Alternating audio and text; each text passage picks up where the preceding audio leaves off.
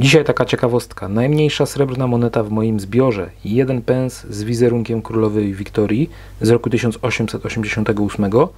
Widzicie ją w porównaniu z naszym współczesnym grosikiem. Jak widać, totalne maleństwo. Jeżeli interesuje Was coś więcej na temat tej monety, zapraszam Was na odcinek. Szanowni Państwo, na początku przypominam, jesteście na kanale Srebrne Prowokacje.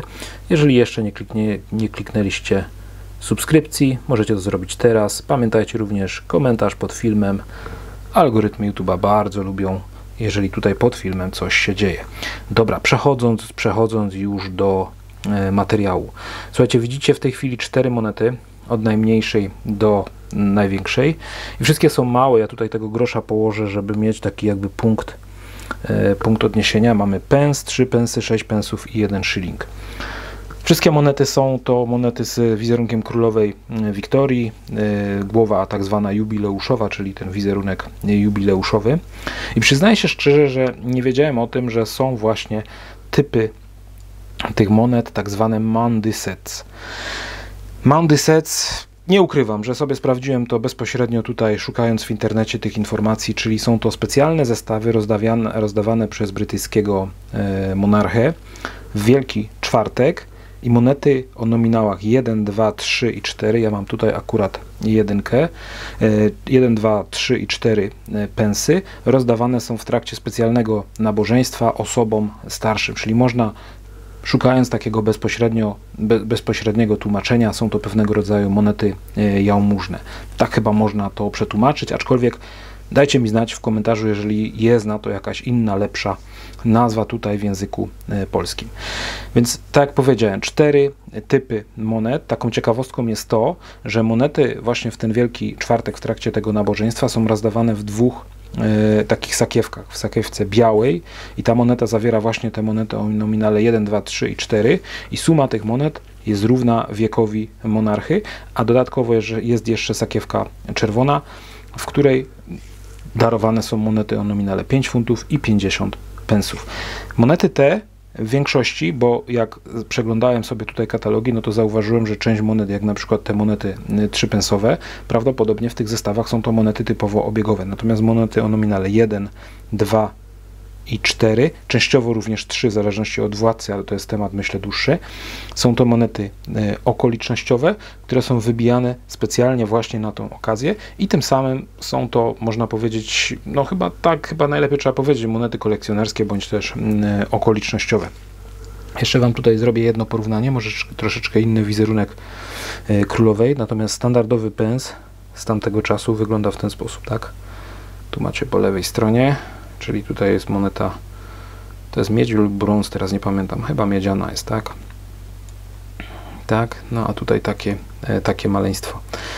Jeżeli chodzi o parametry tych, tych monet, no to ta moneta jednopensowa, słuchajcie, to jest 0,47 grama, srebro próba 925, no i tym samym jest to chyba najmniejsza moneta srebrna u mnie w zbiorze. Średnica tej monety to tylko 11,15 mm katalogowo, a nakład, jeżeli chodzi o wybicie tej konkretnej monety, to 14 tysięcy sztuk, czyli naprawdę całkiem mało. To, co ja tutaj mam, to jest rocznik 1888, no i one były w zasadzie co roku wybijane, tak?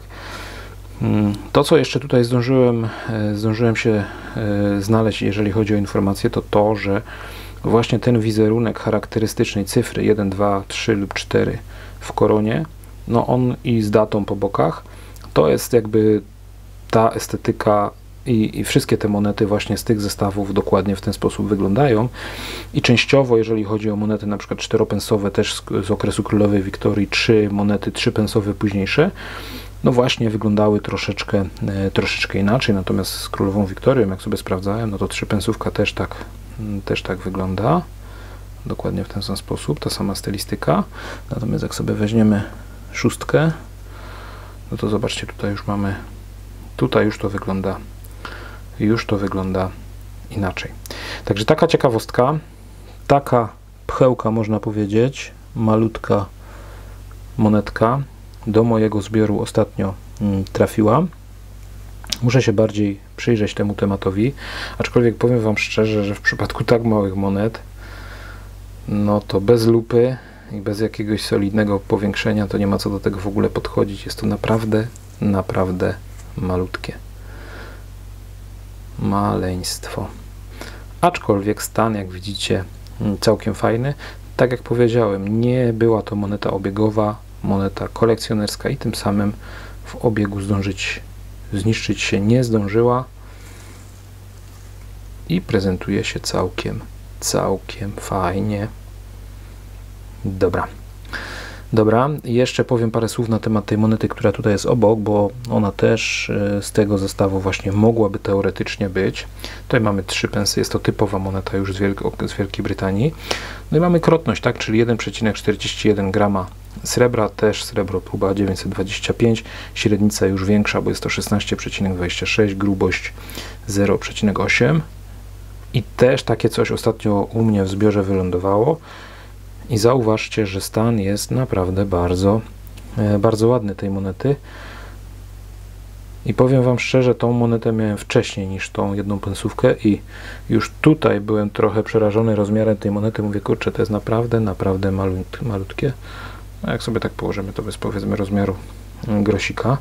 Aczkolwiek jeżeli chodzi o design, estetykę, detale, no to no nie ma co porównywać w ogóle, tak? Jest zdecydowanie, zdecydowanie ta moneta ładniejsza. Natomiast jak sobie ją położymy z tą jedynką, no to, no to zobaczcie, wygląda na dużą monetę. Dobra, słuchajcie, taka dzisiaj ciekawostka. Dajcie mi znać w komentarzu, czy spotkaliście się właśnie z takimi charakterystycznymi monetami z Wielkiej Brytanii. Jestem ciekawy, co na ten temat myślicie. Piszcie w komentarzu pod filmem. Dzięki i zapraszam na kolejne materiały. Cześć.